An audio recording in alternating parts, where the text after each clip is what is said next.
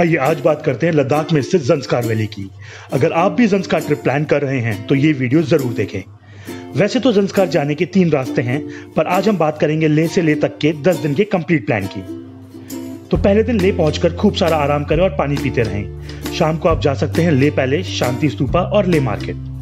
दूसरे दिन ले को पीछे छोड़ हम जाएँगे लामायूरू रास्ते में आप देख सकते हैं पत्थर साहिब गुरुद्वारा, मैग्नेटिक हिल, संगम और लामायूरू मोनेस्ट्री तीसरा दिन जल्दी शुरू करें और आज आप लिंक शेड होते हुए जाएँगे पदुम आज आप पार करेंगे सिरसिरला और सिंगेला जैसे हाई माउंटेन पासेस आज चौथा दिन भी पदुन में ही बिताते हुए आज आप देखने जा सकते हैं सानी गोम्पा जोंकुल गोम्पा और कारशा गोम्पा दिन है पांचवा और आज आप जाएँगे पुरने आज आप देख सकते हैं स्टोंगडे गोम्पा स्टाकरीमो और पिबितिंग मोनेस्ट्री छठा दिन जल्दी शुरू कर आज आप फुक्तल मोनेस्ट्री का ट्रैक कर सकते हैं।